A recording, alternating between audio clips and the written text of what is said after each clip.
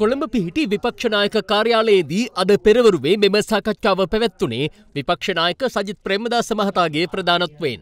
එහිදී ගාල්මෝදුර අර්ගලයට සම්බන්ධ සර්වපාක්ෂික අර්ගලකරුවෝ නම් සංවිධානයේ නියෝජිතයින් පිරිසක් තම අදහස් ඇතුළත් යෝජනාවලියක්ද විපක්ෂනායකවරයා වෙත භාර දුන්නා.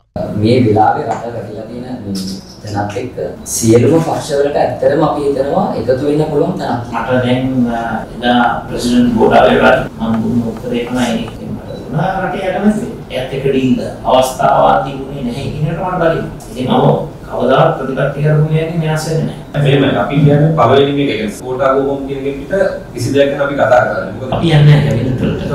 අපි හොඳ යෝජනාවට උදව් කරනවා. හැබැයි ඕගොල්ලෝගේ ප්‍රතිසංස්කරණ ක්‍රියාවලිය ක්‍රියාත්මක කිරීම. විධායක ජනාධිපතිතුමා මේ අහෝසි කිව්වේ. ගෝඨා ගෝකෝ ඒවට ඒක කෙරෙන්න ඕනේ. කොටින්ම කිව්වා. එයා හින්දු බිහි කරන්නේ මහින්ද රාජපක්ෂගේ පාර්ලිමේන්තු කොට්ටාවත් එක්ක.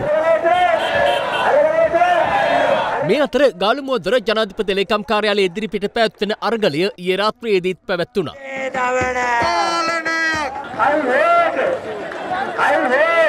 අද එම අර්ගලයේ තිස් හය වන දිනයයි.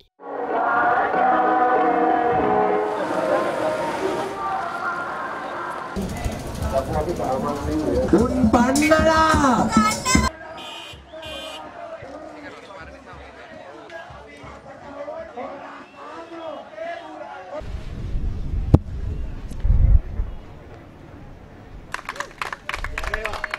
අකුරු මැකී නෑ කොළ ගැලවී නෑ මුද වී නෑ සිතුවම් මේ අතර අරලේ ගහ මන්දිරය ඉදිරිපිට පැවැත්වෙන විරෝධයද තවදුරටත් ක්‍රියාත්මකයි.